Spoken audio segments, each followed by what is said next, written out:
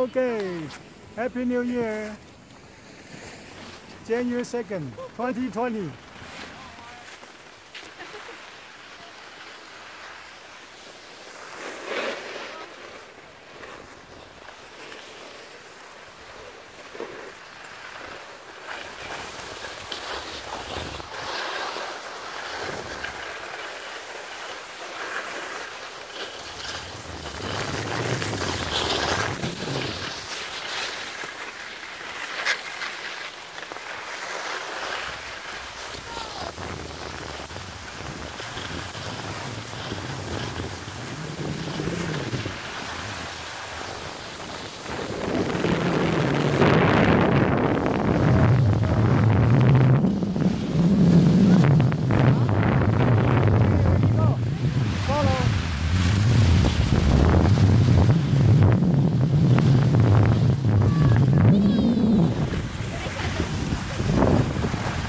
يا فريد